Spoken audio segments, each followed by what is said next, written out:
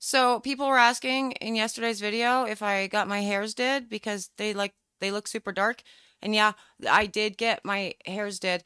Uh, it is super dark. It's actually really gorgeous. It's this beautiful chocolate brown on one side, and then it has this beautiful red streaks on the other. In with my gal, who is amazing, for like four hours, and I had to go because Scout had an appointment, and so she didn't have time to actually cut my hair, and so she just sent me, and then I have to come back and get my hair cut. But anyway, I came home after Scout's appointment and was helping Mister, and it started torrential downpour rain on us. So we're out there with a tarp that I got stuck under. That's a different story entirely. I was scared, but trying to pull a giant tarp, like a football size field tarp, over the whole addition, because you know it's we're making the house. It's raining, and uh, in the process, my hair got really wet. I looked like a drowned rat, and so I think a lot of the colors messed up. So I haven't fully talked about it. But yes, it is darker.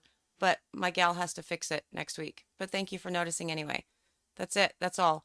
I mean, there's a video, and I'll tell you more about the video in just a minute. But before I do, hello, I am Mrs. Soap and Clay. Let's make stuff.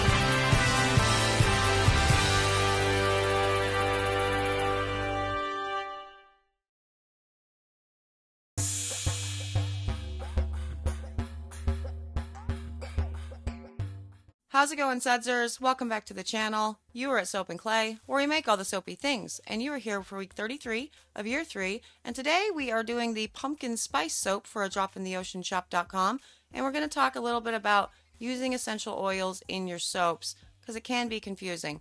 Now, we did the IFRA about fragrance oils a few weeks ago at this point, and while that is really good information for fragrance oils, it gets a little bit complicated when it comes to essentials, because I don't know if you've noticed, but a lot of the places I get my essential oils from do not have the IFRA sheets. Now, there is a reason for that, and we should probably talk about what that reason is, you know, and how you should be using your essential oils within your soaps should you choose to use them. Now, this particular soap is an essential oil only soap. A drop in the ocean shop.com is just essential oils, natural colorants, all of the jazz. And so you'll get to see a pour and the making of the pumpkin spice. And I'm going to, you know, give you better, I think, footage of the little cinnamon sticks that I use with the melt and pour and all that jazz within all this. So let's get to the video and we can talk about and do all of those things.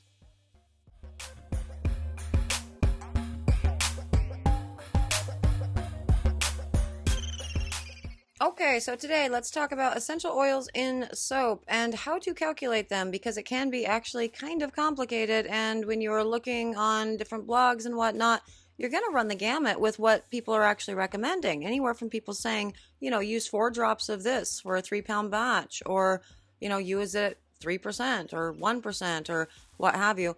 And so it can be a lot more confusing to use essential oils within your soap as opposed to fragrance oils because fragrance oils, if you are getting them and sourcing your fragrance oils from a reputable company, that's specifically for candles or soap making, then you're going to be able to see the IFRA certificate from said reputable company. Now, with essential oils, it can get a little bit tricky though, because essential oils, with all of the different changes that have gone on with the IFRA over the years, essential oils have sort of been all over the board as far as how they are tracked and how they are measured. IFRA certs for essential oils, I heard at one point in time, were a thing, but now it's not a thing. One of the reasons why it's really not a thing and it's kind of hit or miss is because essential oils are really not very well regulated at all. And they differ from batch to batch as far as the different components and whatnot will go, will end up in a particular, you know, essential oil. Let's say like a rosemary, for example. you can have a different percentage of your components from a rosemary from Spain versus a rosemary from, you know, India or whatever for, for a lot of different reasons. And so the best way to actually do that and see what your usage rate should be for your cat 9 for your, you know, rinse off product for a soap is to actually look at the different components that is in that are in an essential oil. So let's continue on with using rosemary as an example for that and show you what components I'm talking about.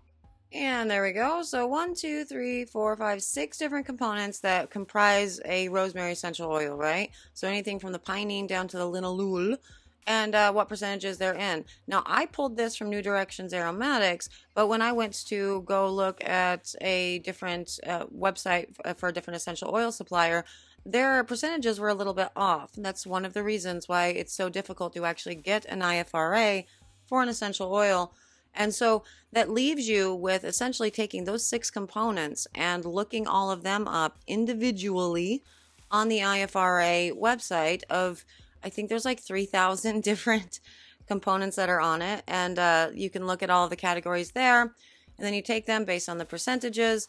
And if it's 75% for, you know, the camphor or whatever, and you essentially determine what your safety usage rating is the way that the fragrance oil companies are doing it to give us these IFRA sheets. Now, that can be a huge pain in the butt. And so, for that reason, obviously with all of the different maths and everything involved i would recommend uh, first and foremost finding a supplier that actually well first up don't buy your essential oils if you if the supplier that you're getting them from does not have either a certificate of analysis so you can actually pull that information or some safety pages which you should be able to pull that information from as well. Although i just went and looked at rosemary on brambleberry and i am not seeing any components information. So with uh, New Directions Aromatics, with Bulk Apothecary, the certificates of analysis, they exist. You can, you know, do the math with all of that if you would like to, or to find a company that also has an essential oil calculator. Now, I was just talking about Brambleberry and how they do not have the certificates of analysis. That is true. They do have an essential oil calculator, which, with playing around with it, it works out pretty well. It's it's decent-ish based on the essential oils that they actually sell. The problem does come with, however, Brambleberry does not sell a whole bunch of essential oils. So that you're not going to be able to get if you're trying to blend like we were blending for the, you know, apple soap or whatever, m- multiple different, you know, essential oils into it.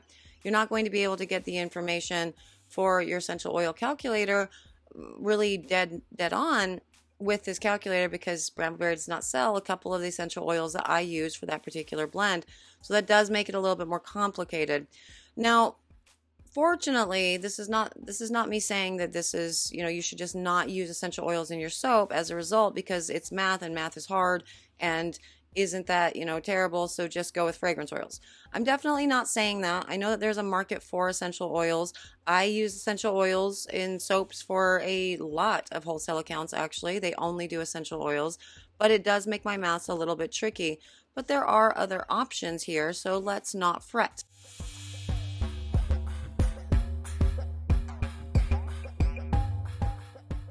Okay, so first up, if you have to search up all of these components and actually figure out the math, that's going to be a huge pain in the butt, right? To actually work on that all, you know, on your own, and then the chances of actually having a, making a mistake and you know doing something wrong and overusing an essential oil could be bad, right? Well, yeah, kind of, but the biggest thing that I would be more concerned about with all of this is just kind of knowing what essential oils are going to be really tricky ones that you really shouldn't be putting in soap or using in soap at too terribly uh, high amounts anyway. I mean, cinnamon obviously comes to mind.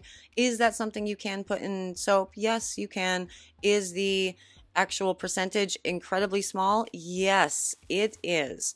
And for that particular one, it kind of actually works because cinnamon is such a potent thing that you can use it at, you know, a fraction of a fraction of a percentage and it will still, you know, yield some of that cinnamon scent in an overall blend. You're not going to be able to make an entire cinnamon soap, however. Now, instead of actually trying to figure all these masks out on your own, I highly recommend going and supporting Modern Soap Making and their EO Calc. And I will put the links below really for all of this. So you can go look at all of the IFRA ratings, kind of see why we are in this place where we are with essential oils. They've been doing and wanting to do some roundtables and really kind of standardize essential oils for a number of decades at this point. Haven't made a lot of progress with it yet, unfortunately, but you can go check that out and see what they're what they're doing with that. But also go support uh, Modern Soap Making and eocalc.com, another link that will be below. And you can, you know, send them some muns. I absolutely, I do recommend, you know, giving them some, you know, well, some donations for all of their hard work because effectively they've created a calculator for you and it has a really exhaustive list and there's a lot of different options that you can use within it to create your own blend or just the, you know, actual IFRA and the CAT 9 rating for a specific essential oil or whatever. Really, really useful tool if you're going to be working with essential oils.